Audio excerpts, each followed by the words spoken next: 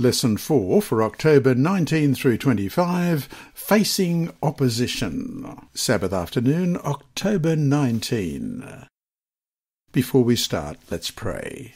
Our Heavenly Father, we thank you that Jesus lived and died and rose again that each of us could have eternal life, and that He's coming back again soon. And as we share that message with those around us, as we live our lives in the communities in which we live, we know that there will be times of opposition to what is truth, but also opposition to our own personal ideas. And as we open your word this week, we pray that your Holy Spirit will guide us on this lesson dealing with what to do with opposition. Bless us now as we look at the lives of Ezra and Nehemiah again. We pray in Jesus' dear name. Amen. Our memory text this week is Ezra chapter 5, verse 5. But the eye of their God was upon the elders of the Jews so that they could not make them cease till a report could go to Darius. Then a written answer was returned concerning this matter. Let's read that again, Ezra chapter 5 and verse 5. But the eye of their God was upon the elders of the Jews, so that they could not make them cease till a report could go to Darius. Then a written answer was returned concerning this matter. Ezra chapter 3 through to chapter 6 is structured thematically, covering different historical periods of opposition to the rebuilding of the temple. Recognizing this thematic approach will help clarify the overall message. Ezra is mentioned for the first time by name in Ezra chapter 7 verse 1. With his arrival in 457 BC, things changed, and the city of Jerusalem, with its wall, began to be spasmodically rebuilt. Thirteen years later, Nehemiah arrived, sent by Artaxerxes in 444 BC, and the building of the wall was finally resumed.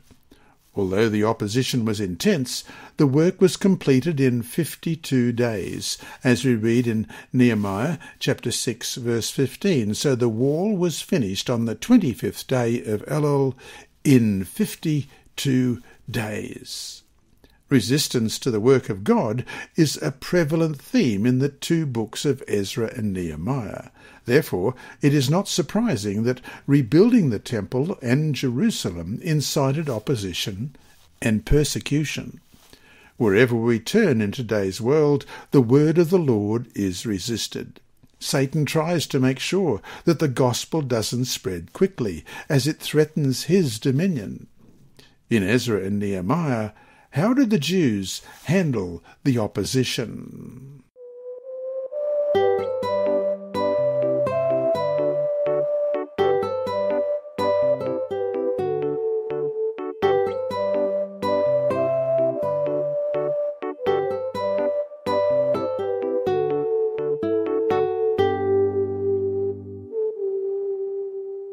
Sunday, October 20. Opposition begins. Question. Read Ezra chapter 4, verses 1 through 5. Why do you think the Israelite remnant refused the help of other people in building the temple? Ezra 4, beginning at verse 1. Now when the adversaries of Judah and Benjamin heard that the descendants of the captivity were building the temple of the Lord, God of Israel, they came to Zerubbabel and the heads of the fathers' houses and said to them, Let us build with you, for we seek your God as you do, and we have sacrificed to him since the days of Esarhaddon, king of Assyria, who brought us here. But Zerubbabel and Jeshua and the rest of the heads of the fathers' houses of Israel said to them, You may do nothing with us to build a house for our God, but we alone will build to the Lord God of Israel, as King Cyrus the king of Persia has commanded us. Then the people of the land tried to discourage the people of Judah. They troubled them in building and hired counselors against them to frustrate their purpose all the days of Cyrus, king of Persia, even until the reign of Darius, king of Persia. On the surface, the request seemed like a kind, neighbourly thing to do. So why turn down the help? In one sense, the answer is found in the text itself. The adversaries came to offer them help. Adversaries? That alone gives a powerful hint as to why the Israelites reacted as they did. Why were the people called adversaries? 2 Kings chapter 17 verses 24 to 41 explains that these people were imported from other nations into Samaria and the surrounding region after the northern kingdom Israelites were deported. Let's look at that. 2 Kings chapter 17 beginning at verse 24. Then the king of Assyria brought people from Babylon, Cutha, Ava, Hamath, and from Sepharvaim, and placed them in the cities of Samaria instead of the children of Israel. And they took possession of Samaria and dwelt in its cities. And it was so, at the beginning of their dwelling there, that they did not fear the Lord. Therefore the Lord sent lions among them, which killed some of them. So they spoke to the king of Assyria, saying, The nations whom you have removed and placed in the cities of Samaria do not know the rituals of the God of the land. Therefore he has sent lions among them, and indeed they are killing them, because they do not know the rituals of the God of the land. Then the king of Assyria commanded, saying, Send there one of the priests whom you brought from there. Let him go and dwell there, and let him teach them the rituals of the God of the land. Then one of the priests, whom they had carried away from Samaria, came and dwelt in Bethel, and taught them how they should fear the Lord. However, Every nation continued to make gods of its own, and put them in the shrines on the high places which the Samaritans had made, every nation in the cities where they dwelt. The men of Babylon made Succoth Benoth, the men of Cuth made Nergal, the men of Hamath made Ashima, and the Avites made Nibhaz and Tartak, and the Sepharvites burned their children in fire to Adramelech and Anamelech, the gods of Sepharvaim. So they feared the Lord, and from every class they appointed for themselves priests of the high places, who sacrificed for them in the shrines of the high places. They feared the Lord, yet served their own gods, according to the rituals of the nations from among whom they were carried away. To this day they continue practicing the former rituals. They do not fear the Lord, nor do they follow their statutes or their ordinances or the law and commandment which the God had commanded the children of Jacob, whom he had named Israel, with whom the Lord had made a covenant and charged them, saying, You shall not fear other gods, nor bow down to them, nor serve them, nor sacrifice to them. But the Lord, who brought you up from the land of Egypt with great power and an outstretched arm, him you shall fear, him you shall worship, and to him you shall offer sacrifice. And the statutes, the ordinances, the law, and the commandment which he wrote for you, you shall be careful to observe for ever. You shall not fear other gods. And the covenant that I have made with you, you shall not forget, nor shall you fear other gods. But the Lord your God you shall fear, and he will deliver you from the hand of all your enemies. However, they did not obey, but they followed their former rituals. So these nations feared the Lord, yet served their carved images. Also, their children and their children's children have continued doing as their fathers did, even to this day. The king of Assyria sent them priests, who were to teach them how to worship the God of the land, that is, the God of Israel. However, the resulting religion incorporated the Canaanite gods as well. Therefore, the remnant Israelites were afraid that this religion would be brought into their temple worship. Hence, the best and smartest thing to do was what they did, which was to say, No, thank you. We have to remember, too, just why all this was happening to begin with. It was their forefathers' constant compromise with the pagan faiths around them that led to the destruction of the temple, as well as to their exile. Presumably, while in the very process of building the temple anew, the last thing that they would want to do would be to get too closely aligned with the people around them. Question. What else in these texts shows why this refusal was the right thing to do. Ezra 4, verses 4 and 5. Then the people of the land tried to discourage the people of Judah. They troubled them in building and hired counselors against them to frustrate their purpose all the days of Cyrus, king of Persia, even until the reign of Darius, king of Persia. And so to finish the day, think about how easily they could have rationalized accepting this help. What does 2 Corinthians 6:14 have to say to us in this context? 2 Corinthians 6 verse 14 Do not be unequally yoked together with unbelievers. For what fellowship has righteousness with lawlessness, and what communion has light with darkness?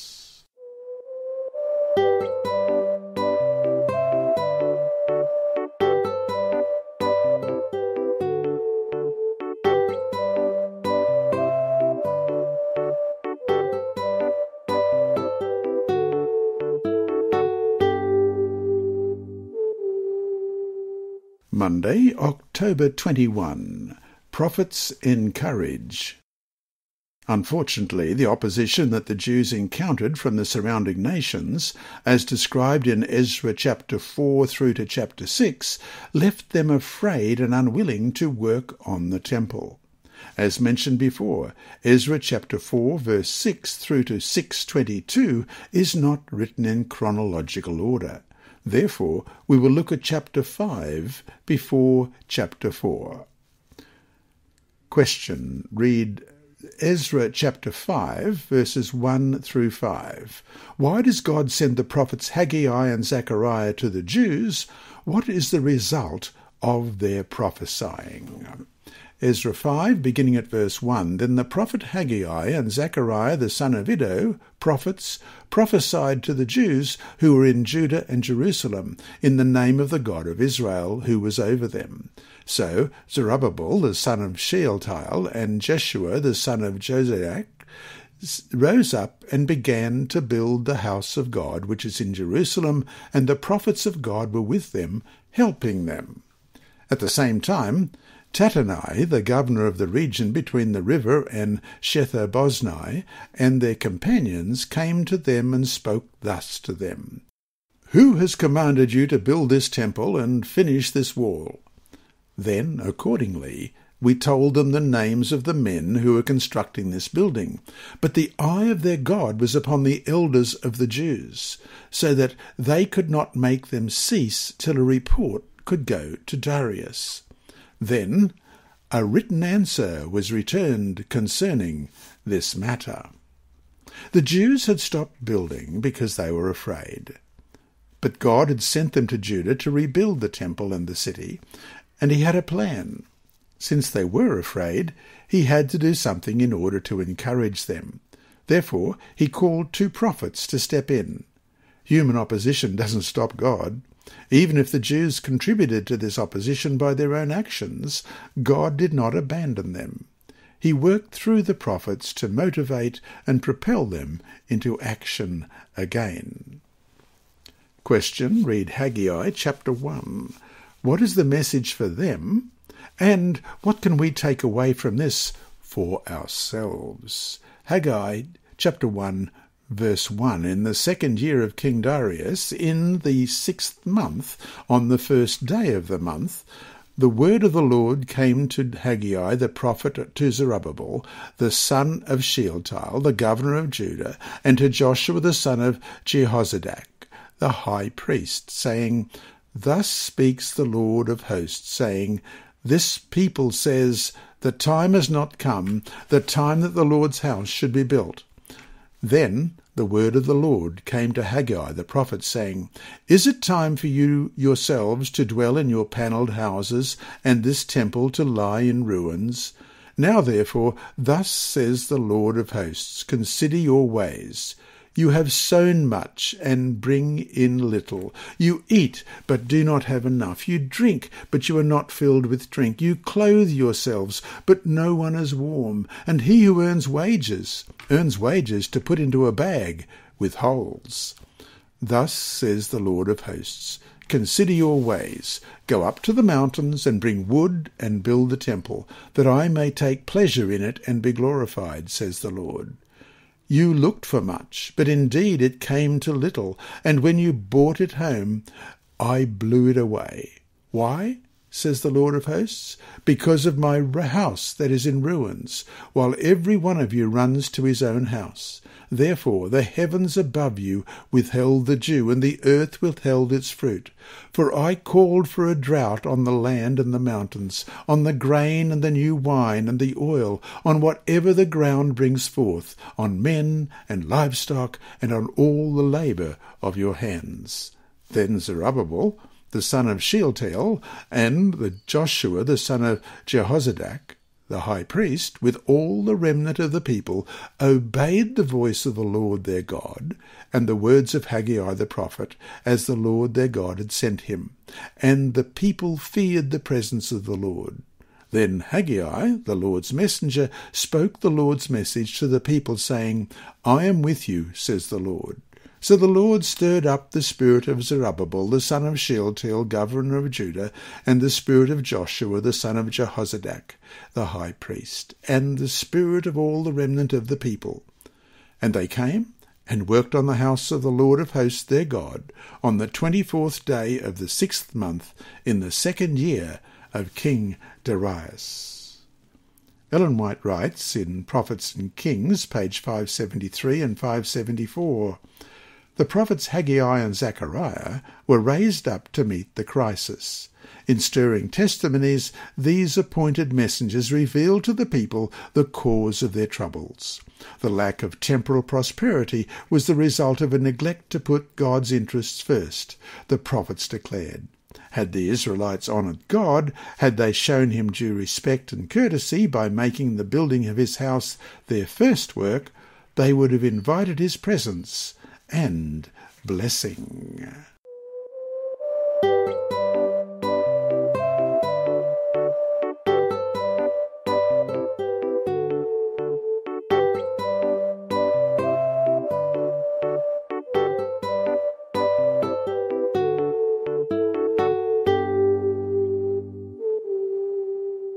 Tuesday, October 22. Work stoppage. Question What did the enemies do in Ezra chapter 4, verses 6 through to 24, in order to stop the work in Jerusalem? Let's read Ezra 4, beginning at verse 6. In the reign of Ahasuerus, in the beginning of his reign, they wrote an accusation against the inhabitants of Judah and Jerusalem. In the days of Artaxerxes also, Bilshan, Mithredath, Tabel, and the rest of their companions wrote to Artaxerxes, king of Persia, and the letter was written in Aramaic script and translated into the Aramaic language. Rehum, the commander, and Shimshai, the scribe, wrote a letter against Jerusalem to King Artaxerxes in this fashion. From Rehum, the commander, Shimshai the scribe and the rest of their companions, representatives of the Dinaites, the Apharsathchites, the Tarpelites, the people of Persia and Erech and Babylon and Shushan, the Dehavites and the Elamites, and the rest of the nations whom the great and noble Osnapper took captive and held in the cities of Samaria and the remainder beyond the river, and so forth. This is a copy of the letter that they sent him. To King Artaxerxes from your servants, the men of the region beyond the river, and so forth. Let it be known to the king that the Jews who came up from you have come to us at Jerusalem, and are building the rebellious and evil city, and are finishing its walls and repairing its foundations. Let it now be known to the king that if this city is built and the walls completed, they will not pay tax, tribute, or custom, and the king's treasury will be diminished. Now, because we receive support from the palace, it was not proper for us to see the king's dishonour. Therefore, we have sent and informed the king, that search may be made in the book of the records of your fathers. And you will find in the book of the records and know that this city is a rebellious city, harmful to kings and provinces, and that they have incited sedition within the city in former times, for which cause this city was destroyed. We inform the king that if this city is rebuilt and its walls are completed, the result will be that you will have no dominion beyond the river. The king sent an answer to Rehum the commander, to Shimshai the scribe, to the rest of their companions who dwell in Samaria, and to the remainder beyond the river, peace, and so forth. The letter which you sent to us has been clearly read before me. And I gave the command, and a search has been made, and it was found that this city in former times has revolted against kings, and rebellion and sedition have been fostered in it. There have also been mighty kings over Jerusalem who have ruled over all the region beyond the river, and tax, tribute, and custom were paid to them. Now Give the command to make these men cease, that this city may not be built until the command is given by me. Take heed now that you do not fail to do this. Why should damage increase to the hurt of the kings? Now, when the copy of King Artaxerxes' letter was read before Rehum, Shimshai the scribe, and their companions, they went up in haste to Jerusalem against the Jews, and by force of arms made them cease. Thus the work of the house of God, which is at Jerusalem, ceased, and it was discontinued until the second year of the reign of Darius, king of Persia.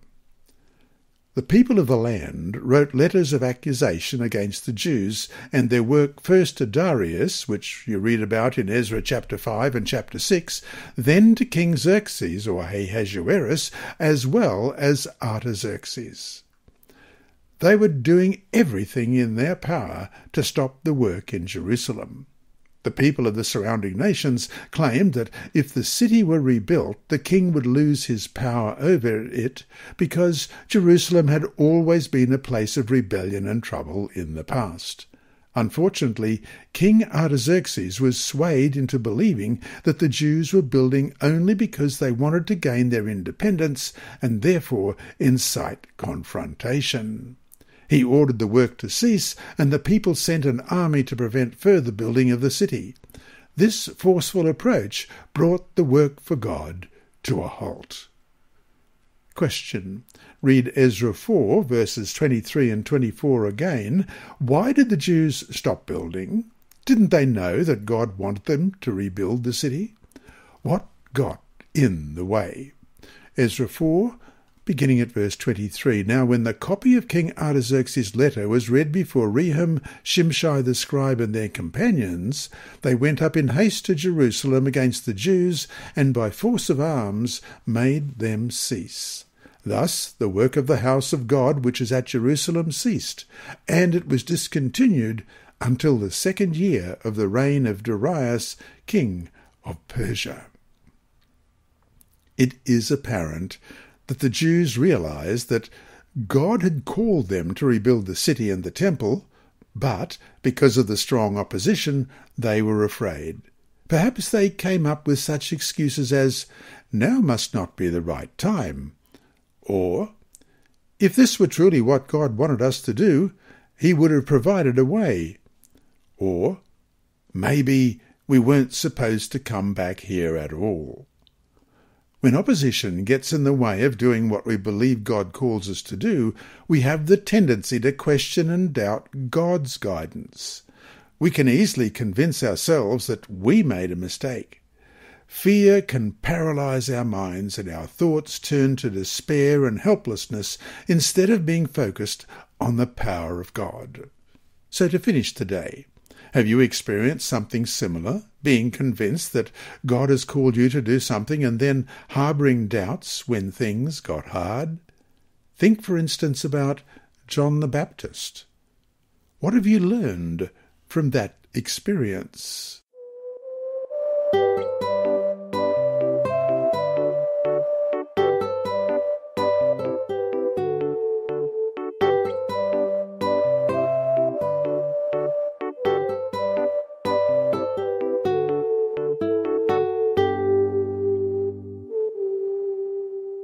Wednesday, October 23. Nehemiah takes action in 444 BC.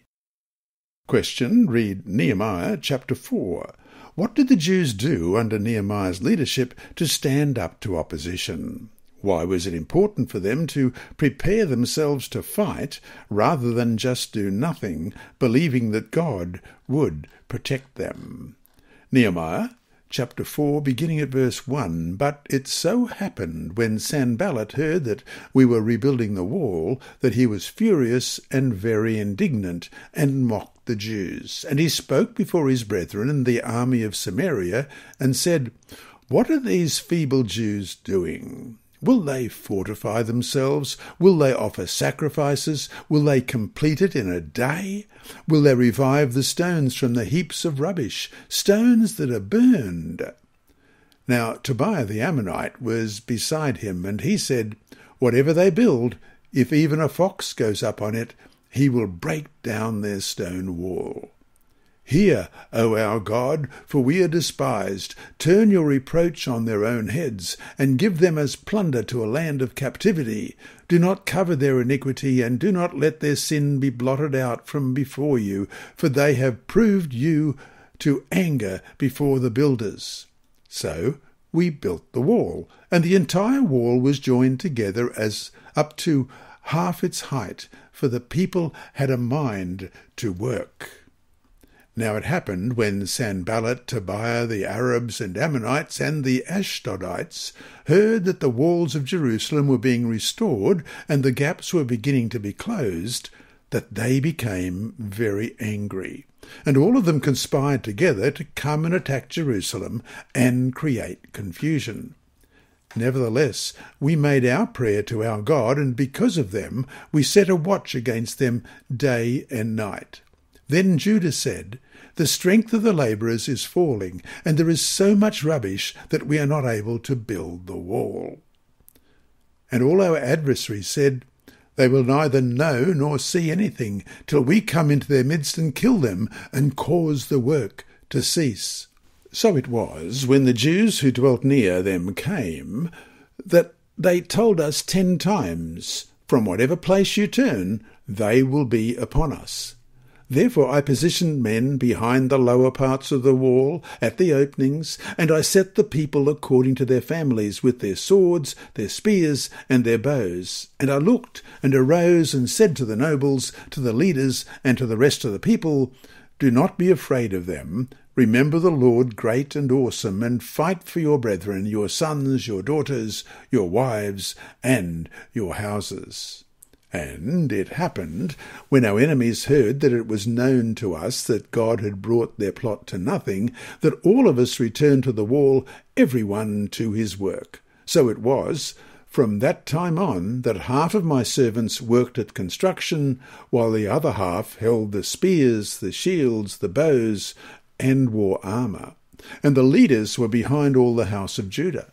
Those who built on the wall and those who carried burdens loaded themselves so that with one hand they worked at construction and with the other held a weapon. Every one of the builders had his sword girded at his side as he built, and the one who sounded the trumpet was beside me. Then I said to the nobles, the rulers, and the rest of the people, the work is great and extensive, and we are separated far from one another on the wall. Wherever you heard the sound of the trumpet, rally to us there. Our God will fight for us.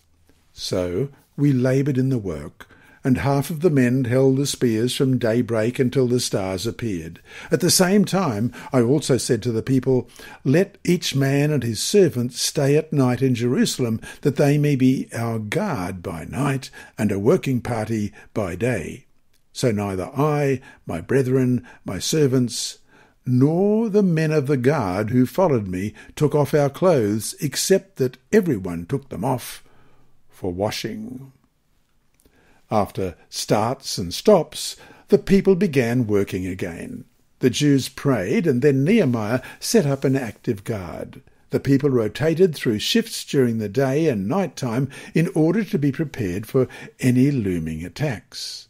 Nehemiah also organized the people around the wall with weapons so that each family was ready to fight. Additionally, he divided his servants into two groups, with one working and the other holding weapons. There also were special provisions for all those who worked on the wall, as they were closest to the danger. Each one of the builders held a sword with one hand, and with the other added bricks or stones and mortar to the wall. They were prepared to face the opposition. They did their part. God did the rest. Nehemiah's faith in God's protection is inspiring. However, he didn't sit on the couch and expect God to do everything. They prepared by doing the best of their abilities. The two passages do not be afraid of them. Remember the Lord great and awesome, and fight for your brethren, your sons, your daughters, your wives, and your houses, in chapter 4 of Nehemiah, verses 13 and 14, and Our God will fight for us in verses 19 and 20 are some of the most inspirational statements found in the Bible.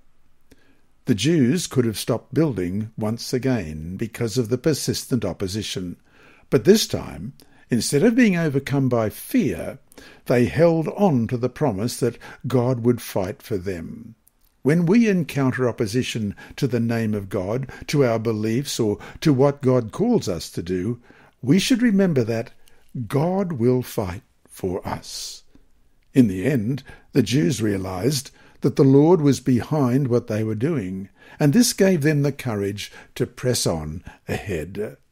So, to finish the day, why is it so important to know that what you are doing is God's will? Thus, an important question to ask is How do I know if what I am doing is God's will?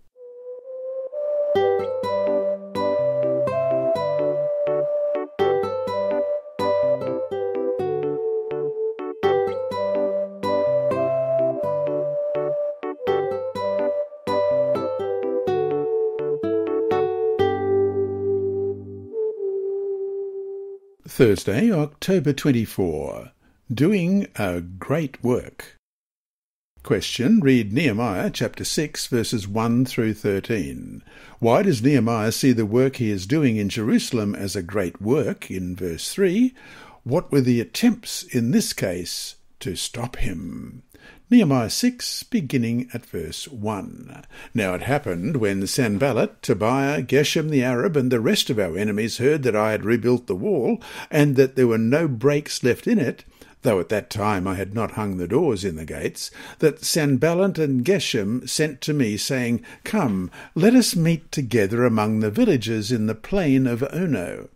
But they thought to do me harm. So I sent messengers to them, saying, I am doing a great work, so that I cannot come down. Why should the work cease while I leave it and go down to you?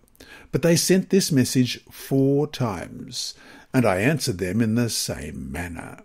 Then Sanballat sent his servant to me as before, the fifth time, with an open letter in his hand. In it was written, It is reported among the nations, and Geshem says, that you and the Jews plan to rebel. Therefore, according to these rumours, you are rebuilding the wall that you may be their king. And you have also appointed prophets to proclaim concerning you at Jerusalem, saying, there is a king in Judah. Now these matters will be reported to the king, so come, therefore, and let us consult together. Then I said to him, saying, No such things as you say are being done, but you invent them in your own heart. For they all were trying to make us afraid, saying, Their hands will be weakened in the work, and it will not be done. Now therefore, O God, strengthen my hands. Afterward I came to the house of Shemaiah, the son of Delaiah, the son of Mehetabel, who was a secret informer, and he said, Let us meet together in the house of God, within the temple, and let us close the doors of the temple, for they are coming to kill you. Indeed, at night they will come to kill you. And I said, should such a man as I flee? And who is there such as I who would go into the temple to save his life? I will not go in.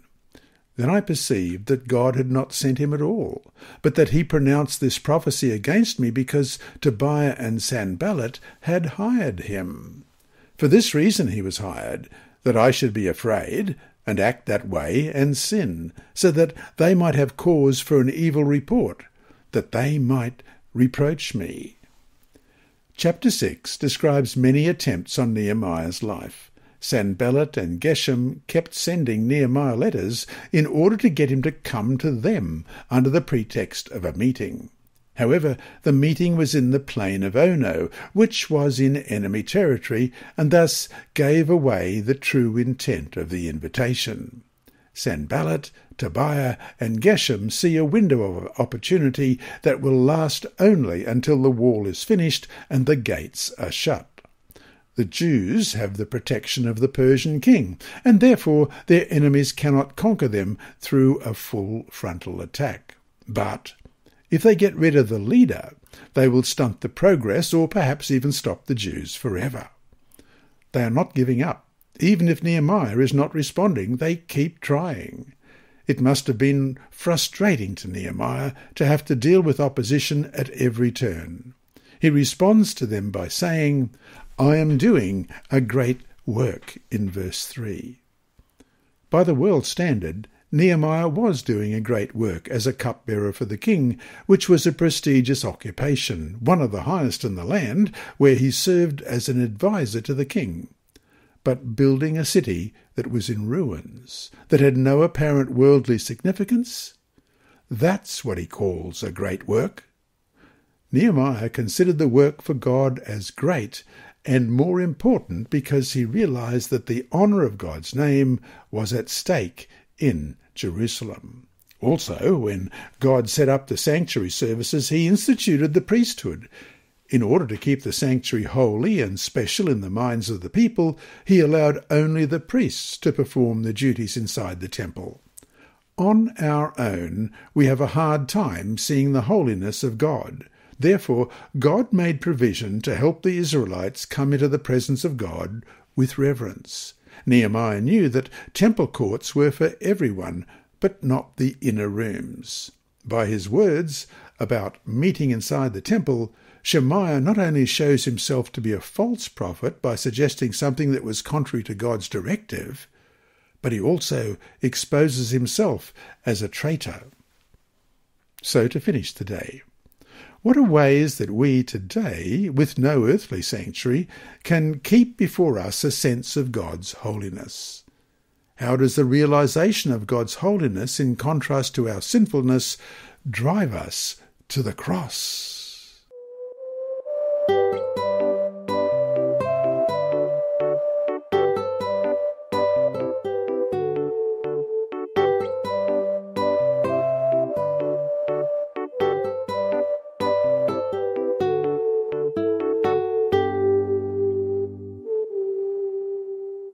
Friday, October 25. Ellen White writes in Prophets and Kings, page 644. The opposition and discouragement that the builders in Nehemiah's day met from open enemies and pretended friends is typical of the experience that those today will have who work for God. Christians are tried not only by the anger, contempt, and cruelty of enemies, but by the indolence, inconsistency, lukewarmness, and treachery of avowed friends and helpers. And page 660 from the same book, Prophets and Kings, in Nehemiah's firm devotion to the work of God and his equally firm reliance on God, lay the reason of the failure of his enemies to draw him into their power. The soul that is indolent falls an easy prey to temptation but in the life that has a noble aim and absorbing purpose, evil finds little foothold. The faith of him who is constantly advancing does not weaken, for above, beneath, beyond, he recognizes infinite love, working out all things to accomplish his good purpose.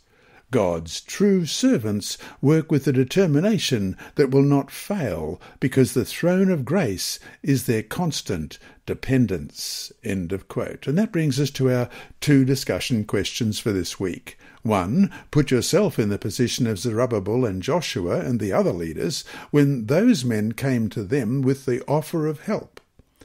Looking back now, we can see that they did the right thing by not accepting that offer. As Adventists, how can we know when we should and should not collaborate with others not of our faith? How do we decide if it is right or wrong? What criteria can we follow? And two, all through biblical history, we see the dangers of compromising our faith with the world. Indeed, the whole history of ancient Israel, right up to the Babylonian captivity, was a powerful example of this compromise.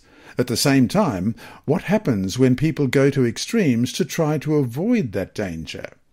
When Jesus himself was accused of violating the Sabbath in John 9 verses 14 to 16, do we not have a powerful example of his accusers going to the other extreme? How do we find the right balance? John 9, beginning at verse 16. Now it was a Sabbath when Jesus made the clay and opened his eyes. Then the Pharisees also asked him again how he had received his sight. He said to them, he put clay on my eyes, and I washed, and I see. Therefore some of the Pharisees said, This man is not from God, because he does not keep the Sabbath. Others said, How can a man who is a sinner do such signs? And there was a division among them.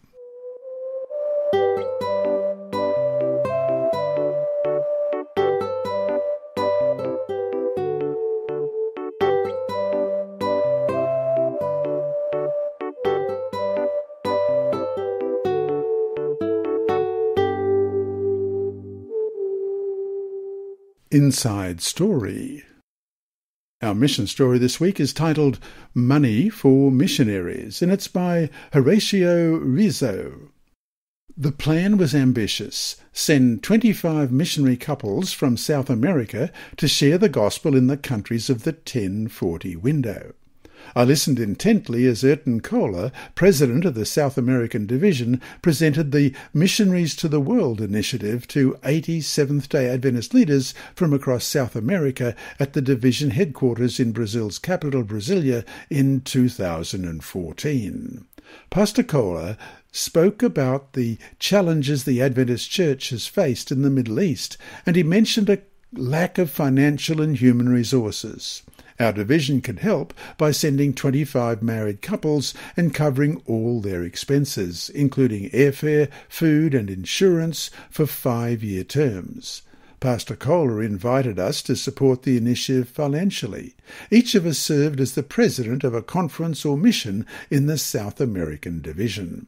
I was the president of the Central West Argentine Mission, a small territory with little money we were dependent on the Argentine Union Conference to make ends meet. Pastor Kohler suggested that our contribution be determined by how many members we had. But not all conferences and missions have the same financial situation, I thought. Another problem was a difference between official church membership and the number who attend church regularly. In my mission, official membership was 10,000 people, but in reality, only 5,000 members went to church every Sabbath. I had to make a pledge. My heart pounded as I considered the issue. I knew the suggested contribution was high compared to the size of our budget. The mission treasurer was not with me to ask whether we could afford it. I didn't have much time to weigh the matter. With a prayer of faith, I pledged to donate the suggested amount for a territory with 10,000 members. Then I texted the treasurer, This is what we have to do. He immediately texted back, OK. He also wanted to support the project. Two weeks later, a big surprise awaited me in my office. A member unexpectedly sold some property and returned a large tithe the tithe amounted to three times more than the funds we had given to the division's missionary initiative. I firmly believe the first person who benefits from the act of giving is the giver. The South American Division's missionary initiative ended up blessing church members in the Central West Argentine Mission most of all. And there's a photo here of Horacio Rizzo, who served as president of the Central West Argentine Mission for nearly three years before being appointed president of the River Plate Adventist University in Argentina in 2016. Three married couples who graduated from the university serve as missionaries in the Missionaries to the World initiative. This week's lesson has been read by Dr. Percy Harrold from Queensland, Australia. It is brought to you by Hope Channel, the Sabbath School Department, and through the services of Christian Services for the Blind. A video of this podcast also occurs on YouTube. Remember, God is always faithful.